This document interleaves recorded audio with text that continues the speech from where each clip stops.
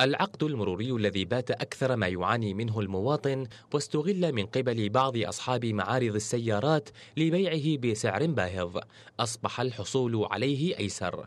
فمديرية المرور العامة وخلال اجتماع مدرائها اليوم أصدرت توجيهات جديدة لتسهيل حصول أصحاب السيارات على العقود من خلال فتح مكاتب جديدة. المرور العامة أغلقت عددا من معارض السيارات وسحبت رخصها الأمنية وأحالت أصحابها للقضاء بسبب استغلال المواطنين. بعض ضعاف النفوس من معارض السيارات خبرونا المواطنين بأنه تم البيع بأكثر من السعر المقرر اللي هو 25 ألف دينار لكل من البائع والمشتري.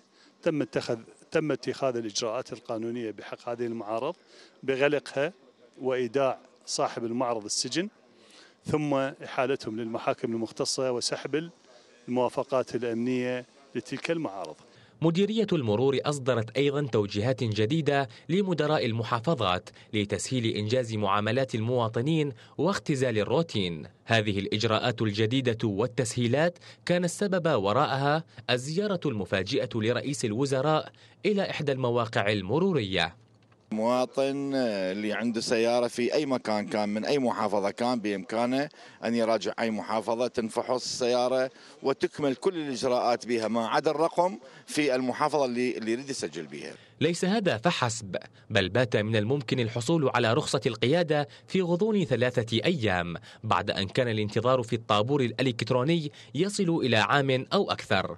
أما تسجيل المركبات وعملية البيع والشراء فصارت هي الأخرى إلكترونية ولا تحتاج لمراجعة الدوائر المختصة. الإجازة تصدر في يومين اليوم الأول يتم الفحص الطبي وبقية إجراءات المتعلقة بإجراءات الاختبارات في النظري والعملي بالسياقة وبعد يراجع الموقع بعد دفع الرسوم المتحققة على الإجازة ويصور المواطن أمام الجهاز ويحصل على الإجازة في نفس اليوم وبإمكانك أن تراجع الموقع وتسأل المواطنين وترى مدى ارتياحهم من هذا الموضوع. ولعل الإجراءات المرورية الجديدة والتسهيلات التي أعلنت اليوم تثير تساؤلات لدى الكثيرين حول إمكانية إجراء المالك لزيارات مفاجئة أخرى إلى الكثير من المؤسسات الحكومية التي يعاني المواطن من روتينها الممل وفسادها الإداري الذي يصعب إجراء المعاملات دون أن يدفع. حسين أسد الحرة بغداد.